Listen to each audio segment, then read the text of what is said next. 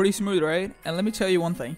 This is not an Android TV, by the way. This is just a simple Samsung TV with a Wi-Fi in it. So, let's just hit the intro.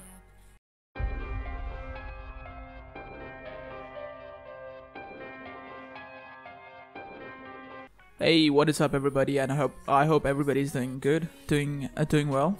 And in this video, I'm going to teach you how you can screen mirror your iPhone to a Samsung TV or any non-Android TV. So in my case, I'm going to be using Samsung. So you can be you can be using anything. You can be using some, uh, Sony and whatever you like. Alright, so the first thing you want to do is make sure your iPhone is connected to a Wi-Fi connection or Ethernet connection or any connection possible.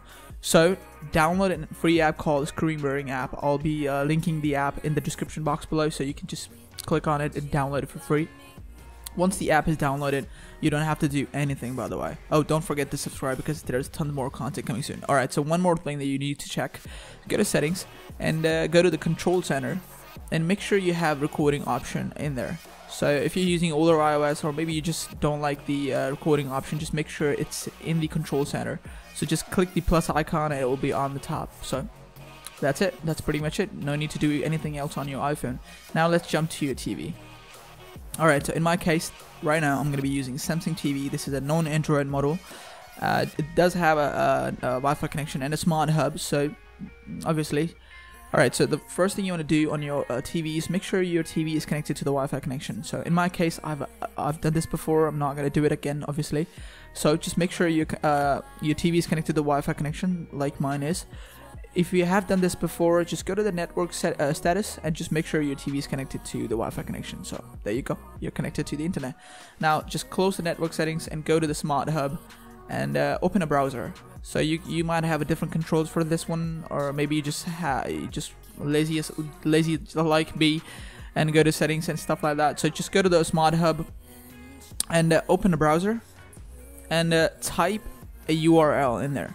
So it's a pretty simple URL. You can see uh, the URL at the bottom of your screen for the uh, for the clear vision, obviously. So just type tv.app. That's it. Just hit enter, and it will automatically pop a screen that just just type tv tv.app. So pretty simple, right? And just click enter. It will pop a screen, which will help us uh, connect our iPhone to a uh, to our TV. So once you type the URL, just click OK, and uh, you should be able. To, you should be seeing this screen in a while, right there. See, pretty simple, right? You'll be seeing a barcode and a code itself. So, hmm.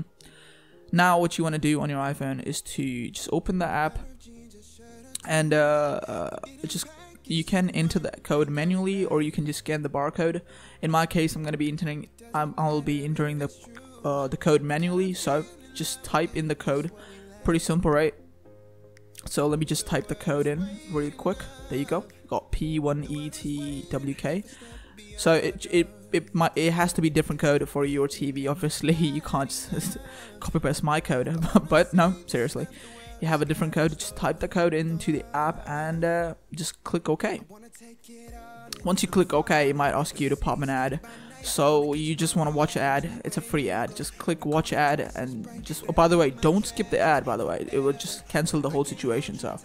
Uh, once the ad is finished just click uh, X on the top and that's it. Just click on the uh, start broadcasting and just click on the start broadcasting once again. It takes about a few seconds uh, and there you go. It should be it should be done. Pretty easy right and by the way, it might ask you to uh, display some different sources on your TV, so just might not happen. By the way, it might not happen to you. It, it has happened to me, so just click Show All, and it would automatically show all sources. So once you click Show All, it will automatically uh, broadcast your iPhone screen to your TV. Like there you go. Now you're uh, mirroring your iPhone screen to your Samsung TV. It's pretty cool, right? You can. Uh, you don't have to need. You don't need to. You don't need to have an Android TV in order for this to work. By the way, if you have an Android TV and you want this to be more simple, you can watch the video on top right corner. I'll be uh, you'll be seeing the card on top. So yeah, you can you can you can do quite a lot with this one. You can you can watch YouTube if you want to. You can play games if you want to. You can listen to music, view pictures. Not gonna show you not gonna show you my pictures obviously, but you can you can you can you can do quite a lot with this one. You can also use camera if you want to. By the way. So it's a pretty cool feature, right? Oh, cool.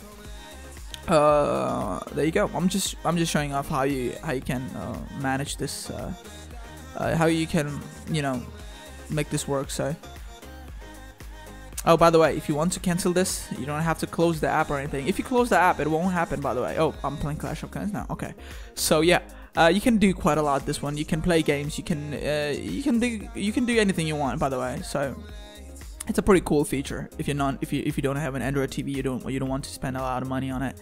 So uh, that's that's pretty much it. By the way, if you again if you want to cancel this whole process, you have to do is swipe down the control panel depending on what iPhone you're using. Uh, swipe down or swipe above, swipe up, swipe up the control panel, control center, and just click on uh, click on screen record option. Remember the one we enabled uh, in the settings. So just click just click on it and it will automatically disable the screen. So that's pretty much it. Oh, and by the way, don't forget to subscribe to the channel. I'll be uploading tons more content, so you don't want to miss it. Thank you so much for watching. This is it, and I'll see you in the next one. I appreciate your support, by the way. Peace out.